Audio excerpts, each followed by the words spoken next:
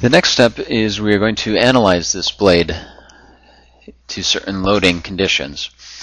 So for this next step we are going to utilize Abaqus. Abaqus is well known for its advanced composite simulation capabilities.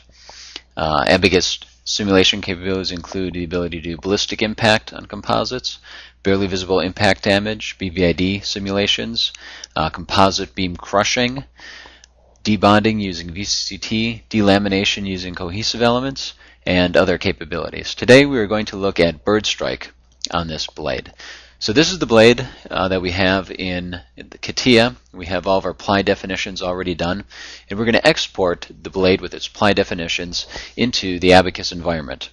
So we are going to export the entire stack, and we're going to do the actual ply orientations as they've been draped.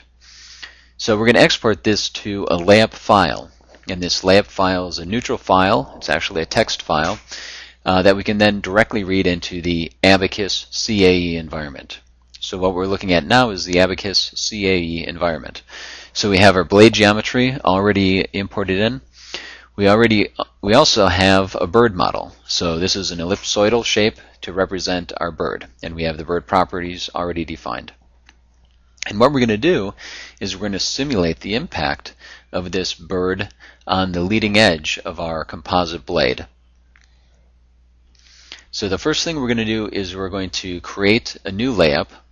Um, this is a layup that's going to reside within the Abaqus environment. And now we're going to map that layup. We're essentially going to import uh, the layup that we exported from CATIA into our Abaqus model. So when we do that, we see that we have all of the plies that we had defined uh, back in CATIA now in Abaqus and mapped onto our Abaqus mesh. So we had previously meshed this model, and now these plies and their relative orientations are defined on that model. So inside of Abaqus, we have our own composite GUI manager that we're looking at now, and we can use that to verify that our plies are in the proper orientations, that our material, our coordinate systems are correct, and we can also do a ply stack plot, which is the ability to pick a particular element and verify the ply stack sequencing. So we can see that we have eight plies in this particular plot. We can also turn on our material names and see the different materials that we have defined for each of those plies. So material definitions that we defined in CATIA got translated into Abaqus as well as the ply orientations. So now that we've verified the model, we can start setting up the loading condition. And the first thing we're going to do is define contact. In Abaqus, we have what's called general contact, where we just want to say, tell the software to, that there's going to be contact, and it goes and it figures out where there's contact. The next thing we're going to do is define our boundary conditions. So this first boundary condition, condition is just going to be essentially fixing uh, the root of the blade. So we're going to put that fixed boundary condition on the root of the blade. And then we're going to define uh, a predefined field, which is essentially we're going to define an initial velocity for that bird. So we're going to define, uh, choose that bird geometry, and say we're going to define an initial velocity for that uh, bird, and we're going to give it uh, some initial velocity both in the one direction and the three direction. And that's all we have to do. The model is now set up and it's ready to be analyzed. So we're going to create a new simulation job. Now we're going to call it uh, impact. And we're going to uh, perform the analysis.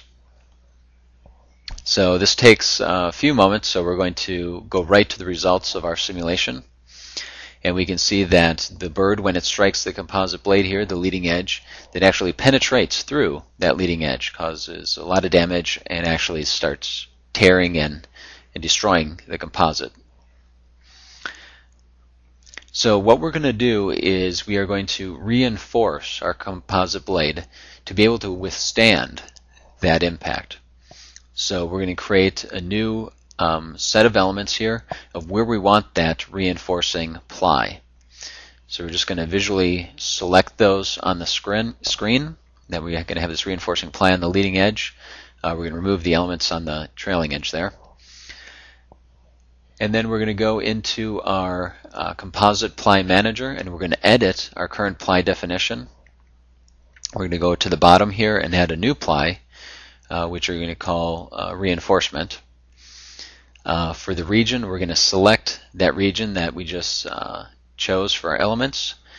Uh, we're going to define our material that we want to use for that, and I've defined a reinforcement material. We're going to define a thickness and then a rotational angle, and we're just going to choose 0 degrees. So once we have that defined, we can uh, copy. We're actually doing a symmetric layup copy. So now instead of just a single layer ply of reinforcement, we now have uh, eight plies of reinforcement there. So we're going to go back to our simulation job, uh, create a new one uh, called uh, impact reinforced, and we're going to go ahead and submit this simulation. So again, it takes a little while to run. We're going to skip right to the results. And now we can see that we still have the impact, uh, but we don't have penetration of the bird through our composite panel. So we get impact, some high stresses, but our leading edge stays intact. So now we're finished with the simulation. Essentially, the analyst has created a new ply layup that will stand the operational loads. So we're going to export this from Abaqus, saying this is our new layup. Uh, this is the one that's going to withstand our loads. When the analyst uh, does that export, the designer now can bring in that new layup definition back to the CATIA environment. So we're going to go ahead and grab this exported layup definition, bring it into the CATIA environment, and we can see that we have highlights of these added plies. And the designer can go ahead and accept those new plies, and it automatically updates uh, his CATIA model. It shows you what has been added. That's the ply that has been added. And we're going to go ahead and say OK. And the plies have been imported and are now part of the layup in CATIA. So that was a quick look at Abaqus and looking at uh, the simulation of a bird strike into a composite blade. If you'd like more information or more details about uh, advanced simulation capabilities, advanced composite analysis, uh, go ahead and you can visit us at simulia.com and we have other webinars with a lot more detailed information on that site. Thank you.